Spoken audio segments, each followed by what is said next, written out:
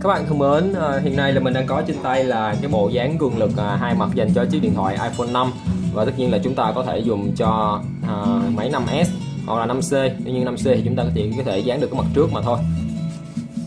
Đây là cái bộ dán cường lực nằm trong bộ sưu tập dán cường lực giá tốt tại đồ chơi di động.com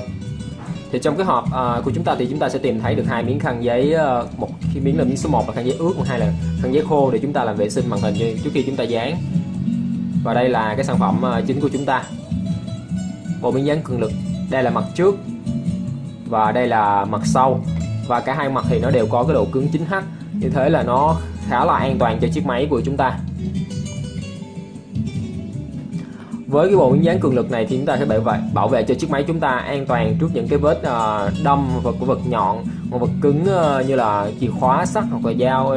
vân vân. Thì uh, khi chúng ta rơi vào chiếc máy bằng chiếc máy xuống mặt đất thì chẳng hạn thì chúng ta cũng cảm thấy là an tâm hơn. Uh, bởi vì miếng dán cường lực của chúng ta có thể vỡ ra uh, tuy nhiên mà mặt kính của máy chúng ta thì vẫn an toàn. Đó là cái lợi thế của miếng dán cường lực so với những cái miếng dán mỏng thông thường trước đây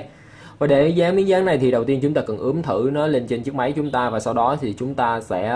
uh, làm vệ sinh cho chiếc máy chúng ta thật sạch thì chúng ta sẽ đặt xuống cái vị trí chúng ta vừa ướm và tất nhiên là trước khi chúng ta đặt xuống thì chúng ta cần phải uh, tháo cái lớp uh, số 1 này ra chúng ta lột nó ra chúng ta đặt nhẹ nhàng xuống về vị trí chúng ta vừa ướm thôi rất là đơn giản nếu mà chúng ta không quen tay thì chúng ta có thể xem video clip hướng dẫn của đồ chơi di động.com trên youtube thì có hướng dẫn uh, về cái cách dán màn hình này rồi